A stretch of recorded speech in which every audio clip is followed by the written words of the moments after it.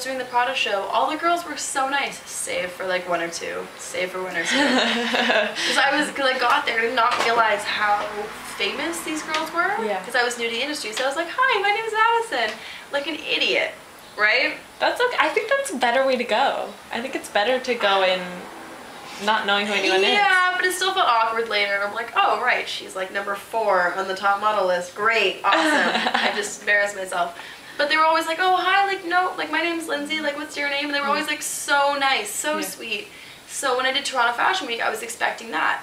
And the thing is, the Prada show everyone was like sitting with each other, chatting with each other, meeting everyone. They're like, oh, I haven't met you, but I've seen you do this work. Congrats! Like, Yeah. hey, it was like a, it was like a slumber party. Everyone was so nice and like talking to each other.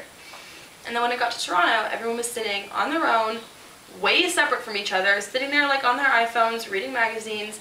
And then my favorite part, my favorite part of that day, was a girl came up and sat next to me and she was like, Hi, what's your name? And I was like, Madison. She's like, Hi, I'm blah blah. Um, have you done Toronto Fashion Week before? And I hadn't, so I was like, No, I haven't yet. And I had just come back from Paris, or Paris doing Miu Miu.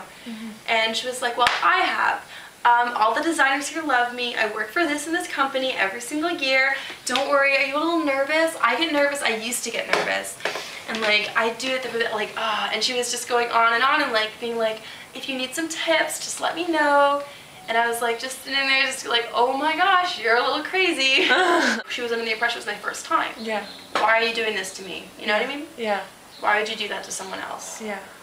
At first I thought that maybe girls on the bottom, all in huge quotation marks. Yeah. It's Yeah. not the bottom, it's the starting place. You know what I Yeah. mean?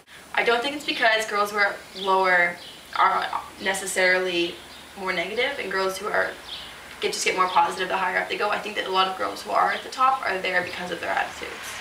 Someone at the boot camp said something that has really stuck with me. They were like, you know what, a model can be look amazing and be amazing, and she will get hired. She'll get hired once or twice, maybe by the same like by the same companies, but that's about it. Because at the end of the day, nobody wants to actually pay an asshole, and that has really stuck with me. If you're amazing at what you do, that's great. You probably get hired once or twice, but if you're a dick, no one's gonna actually want to pay you. It would just feel strange paying someone you hated that much.